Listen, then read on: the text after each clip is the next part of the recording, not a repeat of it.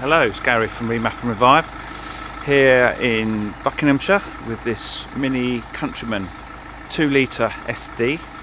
uh, 141 brake horsepower at the moment, and we are going to do a remap and add 45 brake and a very useful 100 newton meters of torque. And the engine carbon clean is just going to make sure that uh, the engine's breathing and everything's operating as well as it possibly can to make the best of the remap.